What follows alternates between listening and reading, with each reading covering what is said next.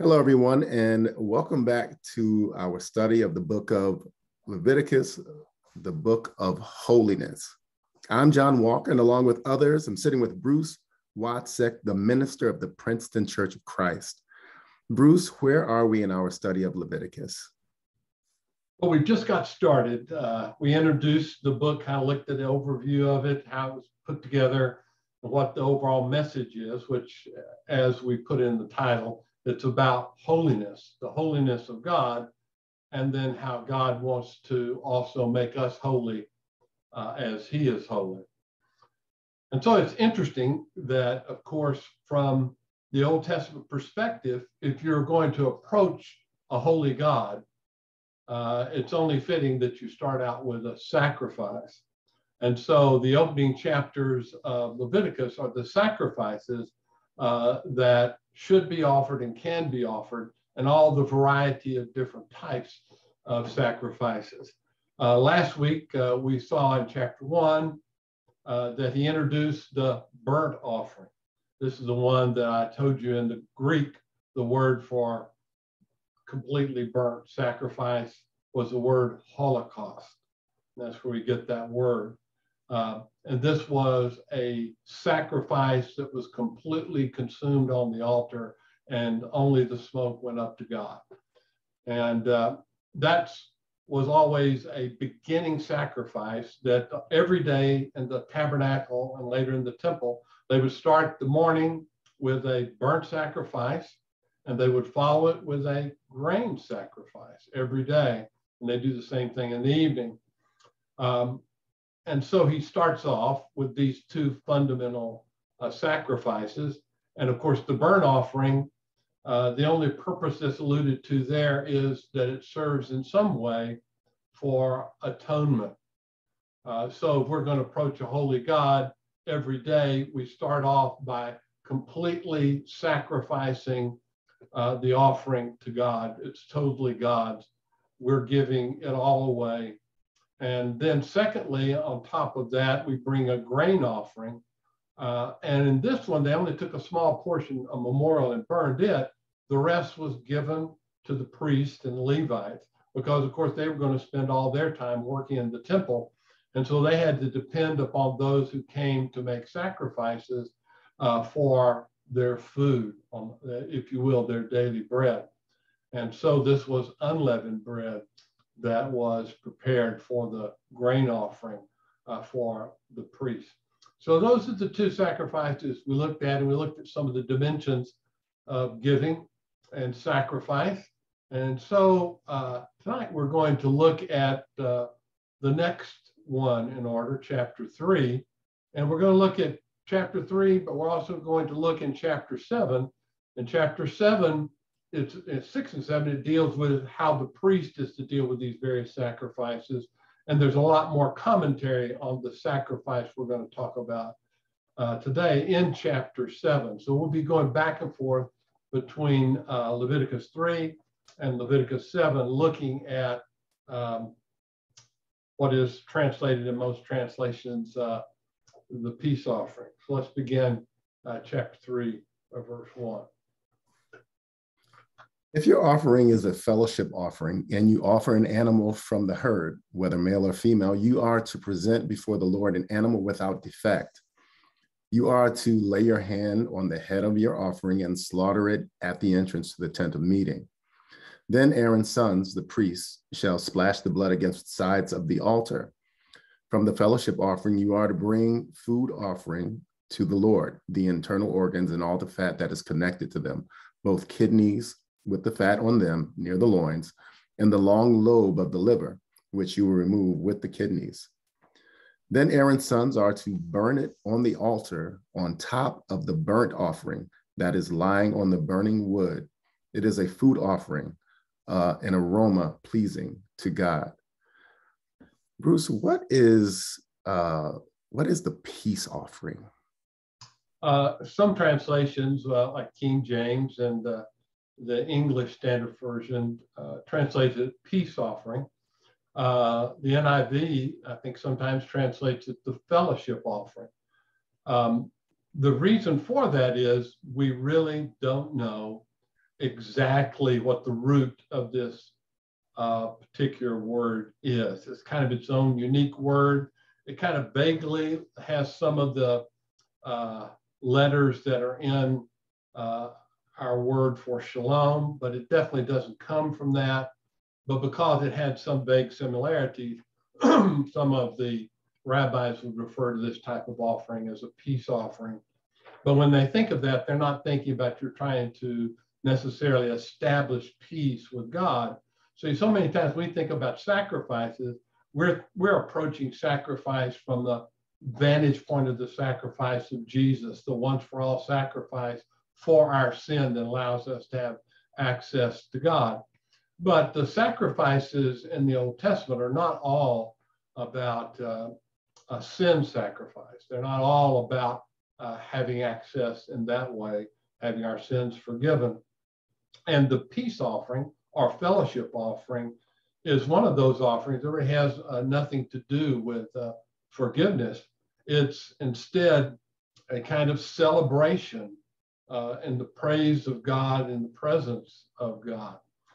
Uh, it's a voluntary offering. It's not required. I think maybe at Pentecost there might have been a, a um, offering of this type required in conjunction with others. But basically, this is a voluntary thing that a family chose to do. And the major difference between this and the two sacrifices we've seen before, in the burnt offering, it's all consumed on the altar. And then with the grain offering, it's given mostly a little bit on the altar and the rest is given to the priest.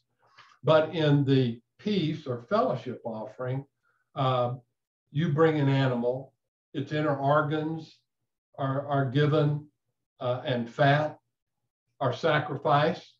Uh, some of the meat is given to the priest. We'll look at that later. But mostly, the person making the sacrifice then gets to eat a meal with this animal they have brought. Sometimes they would be eating it in the temple in later years. At, at the time of the tabernacle, they would just go to the center of where their camp was and, and bring it back uh, to their own tents. But uh, this is, uh, I think we have to kind of get in mind the difference in their world and ours. Uh, they didn't eat meat every day. They didn't, they couldn't eat meat every day. Maybe the even the wealthiest person might perhaps have access to meat every day.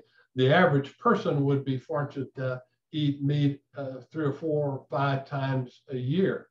And so uh, this was a special occasion. This was almost like our going out to eat, going out to dinner. They would bring it to the Lord, sacrifice, but then they got to share in a common meal. And this was a meal usually big enough, much bigger than the uh, family. Uh, you would have your extended family, maybe your clan, uh, maybe your small village even uh, could share, depending on what animal uh, you were sacrificing, if it was large enough. And so this was a celebrative meal, uh, a fellowship meal that you celebrated in the presence of God. and this was a real positive, voluntary uh, experience of joy in the presence of God. Let's notice what it says in uh, Deuteronomy uh, chapter 12, uh, verses 5 through 7. But you shall seek the place that the Lord your God will choose out of all your tribes to put his name and make his habitation there. There you shall go, and there you shall bring your burnt offerings and your sacrifices your tithes and the contribution that you present, your vow offering, your free will offerings, and the firstborn of your herd and of your flock. And there you shall eat before the Lord your God, and you shall rejoice, you and your households, in all that you undertake, in which the Lord your God has blessed you. So, the whole idea of the peace offering or fellowship offering is you were celebrating in the presence of God. You were sharing a common meal with uh, your extended family or clan. Uh, it was a joyous occasion. Uh, and so you actively rejoiced in the presence of the Lord. You know, we think later on, we know for sure uh, that some of the Psalms uh, were sung uh, during these occasions. They celebrated how great their God was and how he was blessing them. The fact that they had peace in the land, that they could then come and had enough extra to be able to make a, a sacrificial offering and eat a, a large meal with your extended family was a great occasion. Uh, and this is interesting. Um, this same kind of idea goes over uh, into the New Testament. The, the early church uh, met not in temples primarily, but in, of course, their own homes, and they met around a, a common meal. So even to begin with, a very nascent church that began on the day of Pentecost and was situated in Jerusalem, uh, it had a, a, component of a common meal together. And uh, we're told this in uh, chapter 2 of Acts, uh, verse 46 47. And day by day, attending the temple together and breaking bread in their homes, they received their food with glad and generous hearts, praising God and having favor with all the people. And the Lord added to their number day by day those who were being saved. Now, of course, again, the church at this time was uh, completely Jewish in its makeup. Uh, they were in the city of Jerusalem. The temple was still functioning. And so they would go, as would be the custom of most uh, Jerusalem inhabitants, they probably go for the morning sacrifice and then again for the evening sacrifice, which was a time to offer prayers in the presence of God. But also, they no doubt were bringing some uh, fellowship or peace offerings because it says they went home and were breaking bread in their homes and received their food with glad and generous hearts, praising God. And of course, having favor with all people. So again, their gatherings together were times of praise and, and rejoicing. And there's nothing better than getting together with uh, brothers and sisters in Christ and, and celebrating a meal together, spending time together. Um, that's what the early church did. That's what caused them to have such a close bond. And in the context of the Old Testament, the peace offering was an opportunity for you to share a wonderful common meal uh, of really good food that you didn't normally eat uh, together with your extended family. So that's what we find uh, the peace offering uh, telling us.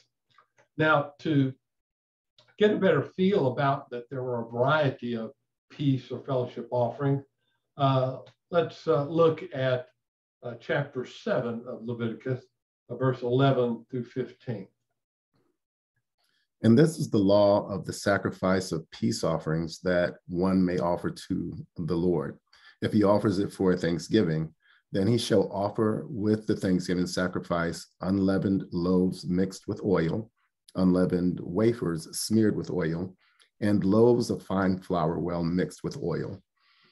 With the sacrifice of his peace offerings for thanksgiving, he shall bring his offering with loaves of leavened bread and from it he shall offer one loaf from each offering as a gift to the Lord. It shall belong to the priest who throws the blood of the peace offerings. And the flesh of the sacrifice of his peace offerings for thanksgiving shall be eaten on the day of, of his offering. He shall not leave any of it until the morning.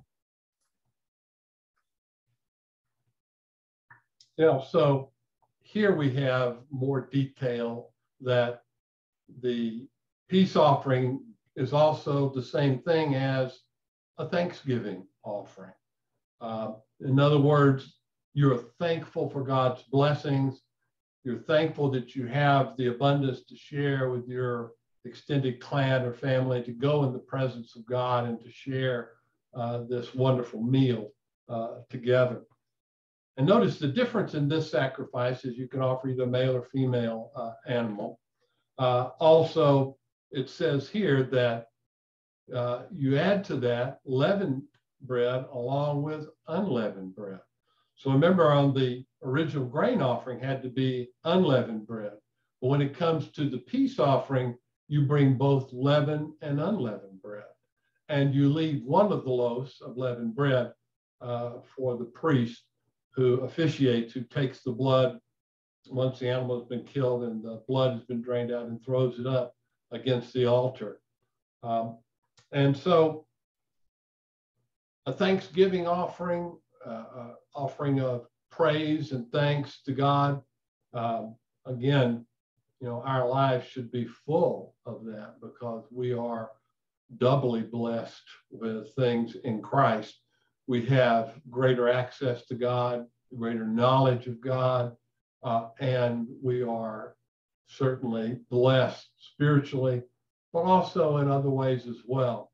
God uh, takes good care of us as his children. And so there was always an appropriate time to offer a thanksgiving offering. And then there are two other potential peace offerings. Let's uh, continue on in verse 16 through 18. But if the sacrifice of his offering is a vow offering or a free will offering, it shall be eaten on the day that he offers his sacrifice, and on the next day what remains of it shall be eaten. But what remains of the flesh of the sacrifice on the third day shall be burned up with fire. If any of the flesh of the sacrifice of his peace offering is eaten on the third day, he who offers it shall not be accepted, neither shall it be credited to him. It is tainted, and he who eats of it shall bear his iniquity. So, Bruce, what is a vow and free will offering? So, it was very common in the ancient world for people to pledge to do something and make a vow to God that they will do this thing, give a certain thing, accomplish a certain task. And once you'd accomplished that task, you were relieved that you had fulfilled your vow. And so you would go and celebrate uh, with your other uh, extended family members because they rejoice with you that you had made a vow to God, but you had fulfilled it and now could celebrate that. So uh, that was the occasion for the vow uh, offering. And then the free will offering, just as it suggests, it's uh, it's just that I'm just uh, I'm happy to be a part of the extended family of God of Israel, and I want to freely make a I want to give the rest of my village a great opportunity to gather at the temple, now at the tabernacle, and to celebrate a meal together. And so, in the presence of God and one another, uh, we'll have a great celebration. And so, that's a free will offering. Uh, and so, all of these were forms of peace offering. They were all voluntary, you're not under an obligation to do this, but it's what you did uh, to celebrate your life and your blessings and to share it with others. Notice he said the first one, you know, don't let it last to the next day. So if you're going to eat it all up, that means you've got to bring a bigger group. The notice it said for the vow and free will, you can leave some meat over to the next day, but after that, you're you're not to do it. What this does, of course, meat could become tainted over time and would not be good for you. But also, this encourages the person not just to make a sacrifice and keep it all for themselves, and their close little family that they're eating leftovers for the next uh, uh, next week or so, but you you want to invite a much larger group to participate. So all of this was encouraging you to share what you had with a larger group, your broader extended family, clan, uh, your villagers, depending on the animal that you had uh, to sacrifice. And so uh, here, it makes very clear that there are a variety of reasons why you might choose to do this and to have this wonderful common meal together uh, in the presence of God. But there were some, always some conditions on that. Uh, by the way, this is instructions in chapter six and seven to the priest, their kind of side of the responsibility for each of these sacrifices. And so let's pick up with uh, the next verses, verses uh, 19 through 21. Flesh that touches any unclean thing shall not be eaten. It shall be burned up with fire. All who are clean may eat flesh, but the person who eats of the flesh of the sacrifice of the Lord's peace offerings, while an uncleanness is on him, that person shall be cut off from his people. And if anyone touches an unclean thing, whether human uncleanness or an unclean beast or any unclean, detestable creature, and then eats some flesh from the sacrifice of the Lord's peace offerings, that person shall be cut off from his people. Bruce, uh, what does this uncleanness refer to? Well, we're not going to go too in depth to it uh, today because there's a whole section in Leviticus on clean and unclean. Uh, but it's not, as we might tend to think, about moral purity, although there are some things that are moral that uh, can pollute you or not. But there are a variety of ways that ritually, uh, and we'll talk more in depth when we get to it, in certain things, touching a dead body, uh, this, these things polluted you. and You had to go through a process of cleansing. Uh, again, I think all of this uh, is to remind you that when you approach God, you can't be casual about it.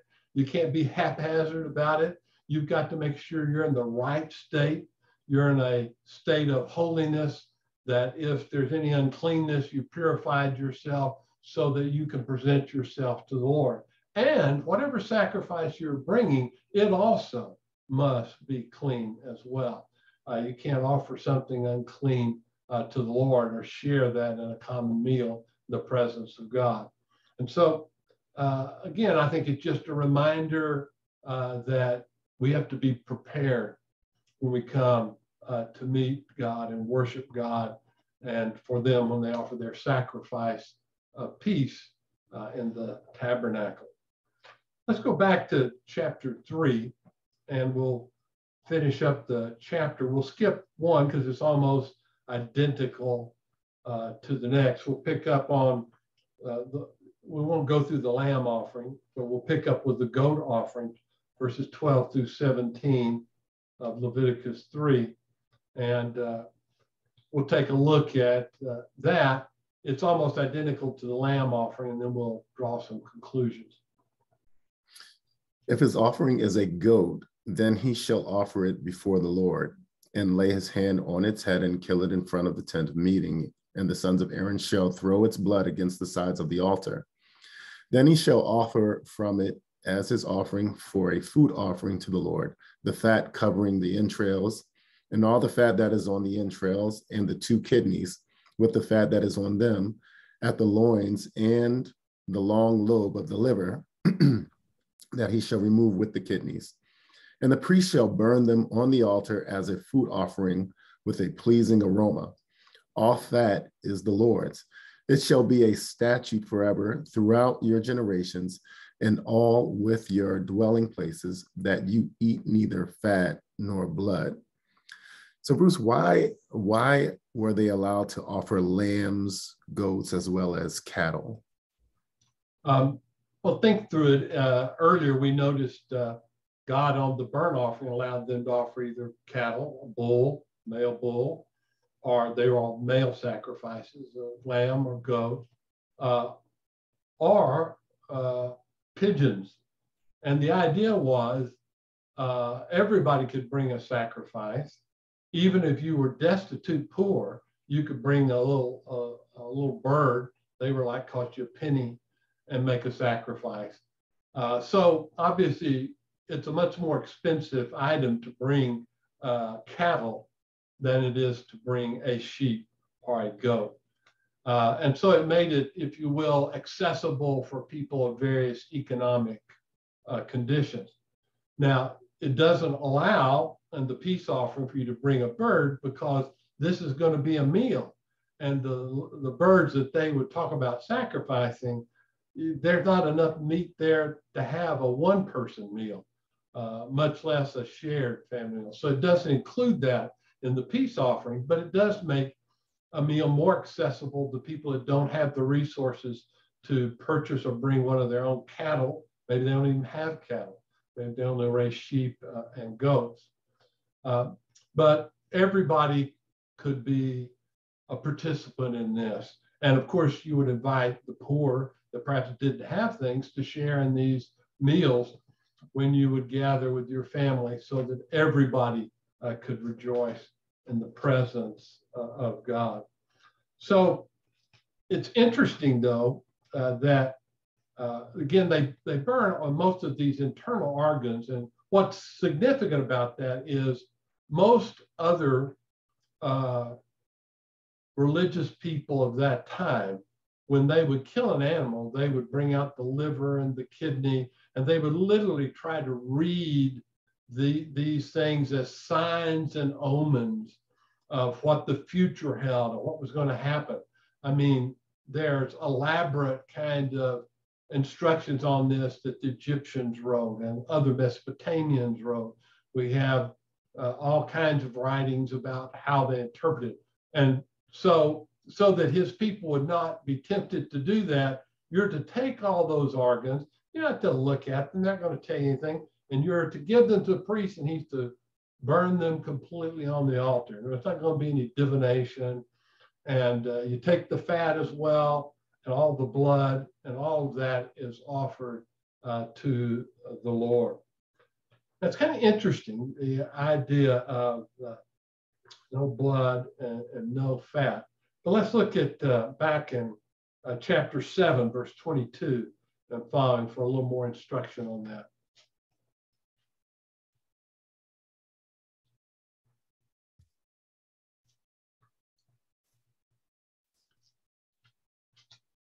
The Lord spoke to Moses, saying, Speak to the people of Israel, saying, You shall eat no fat of ox or sheep or goat. The fat of an animal that dies of itself and the fat of one that is torn by beasts may be put to any other use, but on no account shall you eat it. For every person who eats of the fat of an animal of which a food offering may be made to the Lord shall be cut off from his people. Moreover, you shall you shall eat no blood, whatever, whether or of fowl or of animal, in any of your dwelling places. Whoever eats any blood, that person shall be cut off from his people. Why were they? Why uh, are blood and fat rather uh, forbidden? Well, it's interesting. I think we we know fairly explicitly why blood was uh, forbidden uh, even all the way back to Noah, uh, they were forbidden uh, to eat or drink blood in an animal. They to drain them out of the animal. Um, but uh, the idea of why they can't eat the fatty portions um, is not as explicitly uh, presented, but we'll take a look at what I think is a, a good hint at how they looked at that. Um, but the reason why they were not to uh, eat the blood is found later in Leviticus uh, chapter 17, uh, where verses 10 to 11, he explicitly explains uh, why they were not to eat the blood. If anyone of the house of Israel or of the strangers who sojourn among them eats any blood I will set my face against that person who eats blood and will cut him off from among his people. For the life of the flesh is in the blood. And I give, and I have given it for you on the altar to make atonement for your souls, for it is the blood that makes atonement by the life. And so, yeah. Yeah, so this is the the crucial distinction. You're not to drink the blood or eat the blood because the blood is the life of that animal. And this life is being sacrificed so that you don't have to die. This is back to the idea of substitutionary atonement. This animal died so that you would. This animal died so that you could share a common meal, but you're not to take of the blood, which was very common. Lots of ancient people drank blood and and perhaps made blood uh, sausages and other things like that were very common.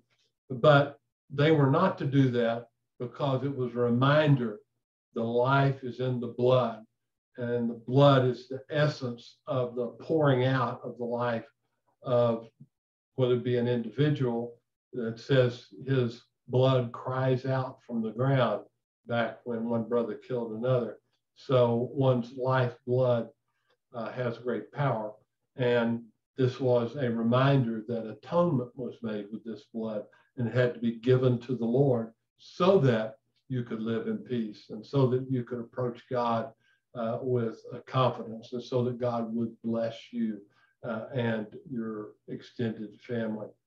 But now back to the fat. Uh, let's go back to uh, one of the familiar stories and, and, take a look at it a little different lens, all the way back in the book of Genesis, uh, chapter 4, uh, the event with Cain and Abel. There's one element of that that I think might hint at uh, the significance of the fatty portion. Now Adam knew Eve, his wife, and she conceived and bore Cain, saying, I have gotten a man with the help of the Lord. And again she bore his brother Abel. Now Abel was a keeper of sheep, and Cain a worker of the ground. In the course of time, Cain brought to the Lord an offering of the fruit of the ground. And Abel also brought of the firstborn of his flock and of their fat portions. And the Lord had regard for Abel and his offering, but for Cain and his offering he had no regard. So Cain was very angry, and his face fell. The Lord said to Cain, Why are you angry? And why has your face fallen? If you do well, will you not be accepted? And if you do not do well, sin is crouching at the door. Its desire is contrary to you, but you must rule over it. Yeah, I just want to note, you know, a, a lot of ink and, and talk has been spent over why, why the sacrifice was not acceptable. Some people, of course, say because uh, one was not offering a animal sacrifice, that's why it wasn't acceptable. I don't really think that's necessarily the case. I think the difference in the two was it says, uh, in the course of time, Cain brought the Lord an offering of, and in the, in the Hebrew, it's very explicit, some fruit. It's like kind of like a cat, you brought some fruit. Okay, I grow some fruit the ground, I bring some of that. And Abel brought of the firstborn of his flock, the best, and of their fat portions. And the Lord had regard for Abel and his offering. Why? He was bringing his best, and his brother was just bringing something. Well, I guess we got to make a sacrifice for the Lord. All right, let's see. Here's something. I'll take this, some kind of leftover. Again, in contrast to the firstborn, didn't say the first uh, uh, grains from the crop and the, the, very best, just some of the fruit of it, which would probably grain, might have been some other uh, things as well. But I think that's the distinction. And Abel gave the better offering because you know, not only the firstborn, it was the fatty portion. So this was considered the best because when you when you cooked it, the fat, of course, in it melted and and would feed into making uh, the food tastes uh, even better. And so the idea is that's the better portion. And uh, so therefore that should be given to the Lord. Even when you share your own common meal, you should burn the fatty portions as well as uh, get rid of the blood so that you don't partake of either one of these. So I think it's just a, a reminder of giving your best to the Lord. Um, you know, we can even see dietarily, it may not have been that beneficial for them to consume vast quantities of fat, not necessarily very healthy uh, and good for you. But they probably were not thinking so much dietarily as we would, but they were thinking instead of uh, giving the best to God. God reserved the best. God got to choose the best. You gave that to him. And then you got to take the rest as he prescribed because he was the one that blessed you with the animals. He allowed them to live. He's allowed you to live without the crops to come in. It's God who's blessed you. And so this is a celebration of that blessing. Uh, and so some belongs to the Lord and is consumed uh, on the altar, the fat as well as, as the blood. Then let's look at the last uh, section uh, that discusses the peace offering. uh, chapter 7, uh, verse uh, 28 to 36. The Lord spoke to Moses, saying, Speak to the people of Israel, saying, Whoever offers the sacrifice of his peace offerings to the Lord shall bring his offering to the Lord from the sacrifice of his peace offerings. His own hands shall bring the Lord's food offerings. He shall bring the fat offering with the breast, that the breast may be waved as a wave offering before the Lord. The priest shall burn the fat of the altar on the altar, but the breast shall be for Aaron and his sons. And the right thigh you shall give to the priest as a contribution from the sacrifice of your peace offerings. Whoever among the sons of Aaron offers the blood of the peace offerings, and the fat shall have the right thigh for a portion. For the breast that is waved and the thigh that is contributed, I have taken from the people of Israel out of the sacrifices of their peace offerings and have given them to Aaron the priest and to his sons as a perpetual due from the people of Israel. This is the portion of Aaron and of his sons from the Lord's food offerings from the day they were presented to serve as priests of the Lord. The Lord commanded this to be given them by the people of Israel from the, from the day that he anointed them. It is a perpetual due throughout their generations. So, Bruce, what was the wave offering for uh, in this account? Yeah, I always get a little kick out of that. I used to read wave offering. I thought that's like hasta la vista. We'll see you later. Uh, but of course, the wave offering was just that you presented uh, the sacrifice to the Lord, and then you gave this one to the priest. Um, and so the idea here is it's going to be a celebratory meal. You brought an extended family, there's plenty of food for everyone, but the priests that are working and, and are doing all the, the things that take care of the tabernacle and the sacrificial system, they too get to share in this. They get uh, a breast and then a uh, thigh, a right thigh, so that they and their family can celebrate along with you and your family as they are in the presence of God, uh, thankful for all of his many blessings. This is how he said, this is a perpetual thing. This is not just a one time thing, this is an ongoing thing. This is how the priesthood is to be uh, supported. So, uh, with that, we have, I think, the essence of the peace or fellowship offering. I think the closest thing uh, to this uh, in the New Testament is what we call the Lord's Supper, uh, where, at least the context of the first century, this was usually celebrated over a common meal uh, that they shared together. And so, to get a feel for that, let's look at a passage that should be uh, familiar to us First Corinthians uh, chapter 11. Let's look through some of what's said there. Picking up at verse 20. When you come together, it is not the Lord's supper that you eat. For in eating, each one goes ahead with his own meal. One goes hungry, another gets drunk. What? Do you not have houses to eat and drink in? Or do you despise the church of God and humiliate those who have nothing? What shall I say to you? Shall I commend you in this? No, I will not. Well, first of all, to just get a feel, uh, of course, Corinth was, uh, if you will, uh, the problem child among all the congregations that uh, Paul established. Uh, it was a fairly affluent city. A lot of people travel through it.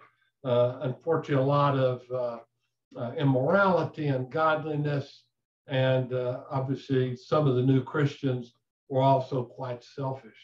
So he says it's not really the Lord's Supper you're eating. Why? Because when you get together, um, some of you brought food and you go ahead and eat. Somebody else that gets there late, and this is probably the servants and slaves who couldn't get away as quickly and didn't really have anything to bring, and they go hungry because you've eaten all the food. Those of you that had resource, you didn't bring it, share it. And matter of fact, you indulged in it, even on drink. Some of you drank so much wine, you became drunk uh, at the gathering of the saints over the common meal. You've abused this and humiliated those who have nothing. Shall I commend you? Absolutely not. So it was a, a uh, some of them were showing a total disregard for their fellow brothers and sisters. Like, what do we say about the peace offering? You brought the food and shared it with others. Those that had shared with those that had been invited. Uh, but what was happening, these uh, Christians at Corinth that had were bringing and eating all the stuff themselves. And then when others came that didn't have anything, there was nothing for them to eat, and they humiliated them uh, by the way they treated them. So this is an ungodly behavior. Now let's continue on his instruction. For I have received from the Lord that uh, what I also delivered to you, that the Lord Jesus on this on the night when he was betrayed took bread, and when he had given thanks, he broke it and said, "This is my body, which is for you. Do this in remembrance of me." In the same way, also he took the cup after supper, saying, "This cup is the new covenant in my blood. Do this as often as you drink it in remembrance of me." For as often as you eat this bread and drink the cup, you proclaim the Lord's death until he comes.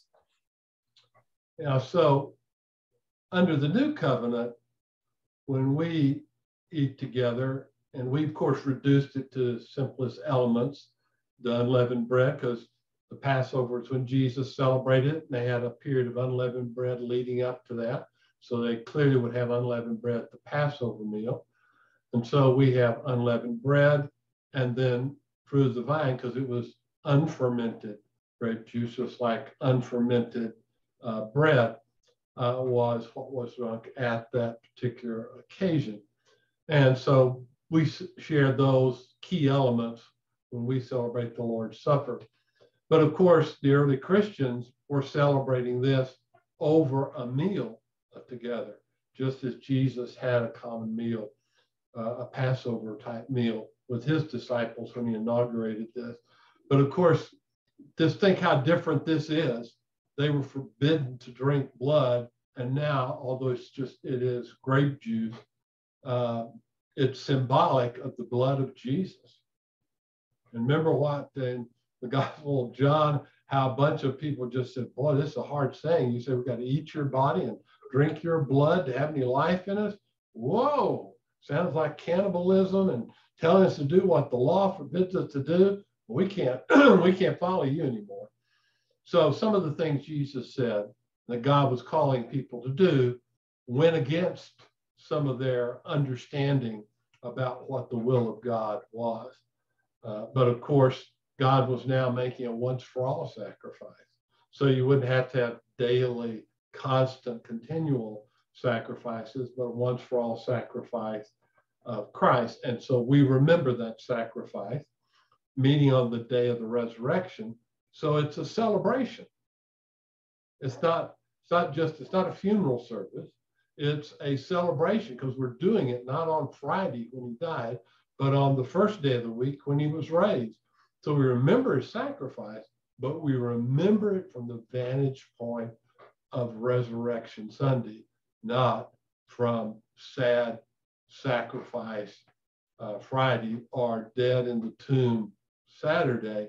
Instead, we celebrate on the first day of the week, which is the day of the resurrection. And then he gives some moral exhortation uh, to them in light of this, what this meal means, this blood of the Lord and body of the Lord. Whoever therefore eats the bread or drinks the cup of the Lord in an unworthy manner will be guilty concerning the body and blood of the Lord. Let a person examine himself then, and so eat of the bread and drink of the cup. For anyone who eats and drinks without discerning the body eats and drinks judgment on himself. That is why many of you are weak and ill, and some have died. So just like in the sacrifice, you can't just offer any animal. You can't approach God in an unclean state. So he's exhorting them, if you're going to partake in the body and the blood of the Lord, you've got to be treating your brothers and sisters right. You can't be at odds with them. So if you're going to sell a communal meal, you need to show proper uh, concern for everyone.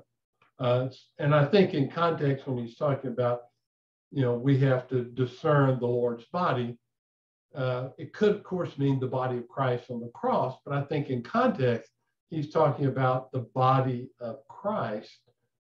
That's what they're not discerning. They're not discerning. These are my brothers and sisters, and I'm not treating them with respect and consideration. They were eating and disregarding those that were hungry. They were drinking, didn't care whether anybody else had anything to drink or not. And so that was not a true supper of the Lord. They'd forgotten that Christ called us to self discipline and unselfish living, not to continue on in the selfish way that we may have lived before. And if we don't, we'll bring judgment on ourselves. Remember how the sacrifices, he said, and this person will be cut off from his people. He won't be allowed uh, to be a part of the covenant community if he disregards my instruction. And here he says, you know, this may have killed literally, spiritually, and maybe physically too, some of your own myths because you have not learned the lesson of agape love shown for one another as Christ sacrificed himself for everyone, not just for you. We are here for Christ and for the good of our brothers and sisters in Christ. And our meal remembers Jesus and it remembers in the present we are cleansed by the blood of Jesus and we partake in his body and we are part of his body. And so are you, all my other brothers and sisters. And so I am concerned about how you're doing, not just how I am doing. And I think an interesting place to kind of wrap up uh, our thoughts about this fellowship or peace offering is to look at a passage uh, in the book of Hebrews, Hebrews 13, uh, verse uh, 15 through 16. We'll wrap up our thoughts by taking a look at this. And, and this is kind of at the end of the whole book of Hebrews, talking about how Christ has replaced the animal sacrifice with once for all sacrifice, now made it where we have access to God uh, through him. And then he concludes some of his exhortation at the end of the book. Through him, then, let us continually offer up a sacrifice of praise to God, that is, the fruit of lips that acknowledge his name. Do not neglect to do good and to share what you have, for such sacrifices are pleasing to God. So notice he starts off by saying, we have an opportunity to continually, on an ongoing basis, offer up a sacrifice of praise to God. That's, of course, the Thanksgiving uh, sacrifice, which is a fruit of lips that acknowledge his name. So we sing and we acknowledge who is Lord of Lords and King of Kings, who we serve, and who is the one true God. We acknowledge him. But not only do we do that verbally, but he said, do not neglect to do good. And what also to share what you have for such sacrifice are pleasing to God. So we do the right thing. We also share what we have. Again, that was what the uh, peace uh, sacrifice was all about sharing a common meal, sharing what you had with your larger extended clan and family. And that's, I think, the kind of sacrifice that God wants us uh, to participate in, looking for opportunities to share what we have with our brothers and sisters, making sure we do good and that our lips also are filled with the praises of God, both in prayer and in singing. Uh, and so that's how in Christ, uh, the Lord's Supper is a sacrifice of, of praise and remembrance. Uh, and our singing, of course, is as well, our prayers. And uh, hopefully, we are also motivated to do the good that God gives us the opportunity to do and share what we have uh, with others. And uh, that, uh, by God's grace, we seek to do. And that's our sacrifice, since Christ has offered the complete and absolute once for all sacrifice that gives us access to God. Our sacrifices now are not of an animal nature, but are of a communal nature as we share our common life in Christ and show true agape love for one another uh, as we live out the lifestyle of Jesus. I hope that this gives you some insight into the peace or fellowship offering. Uh, and next week, we'll go into what's called the sin and the guilt offering, uh, which we'll save for next time, uh, but be reading ahead. A lot of interesting things uh, to learn as we move ahead on what God is teaching uh, his people about how they can remain and live in a holy relationship with God, where they can be holy and they can be in communion with a holy God. And that, of course, is what we seek to do. But now we have, of course, the once for all sacrifice of Christ that gives us our ready access to God. And so we praise God for what we have in Christ. I praise God for all my brothers and sisters. And I praise God that we share of our resources so that others uh, can be helped as well. And so, John, offer up a, a prayer praise as we close out this time. Father, we come to you uh, elated, Father, that you have been so good to us. We thank you for the gift of your Son and eternal life and hope, hope in this life and the life to come, for the comfort, guidance, and discernment of your Holy Spirit. And Father, we thank you for each and every soul present, especially those of the household of faith, that we get a chance to demonstrate that, Father, you are a present God, a God of hope, a God that uh, that builds up and through His people. Father, we pray that we are uh, we we uphold the banner of your Son Jesus, that we uh, continue to prove and and show uh, love that is come down from you. We thank you for Bruce and his ability to explain and teach clearly your word that we might be equipped to explain uh, to others the reason for our, our hope in you. And Lord, as we uh, carry on, and for those who are listening live and on the recorded version, we pray your continued blessings and guidance upon us. We thank you in Christ's name. Amen. Amen. Amen. Good night.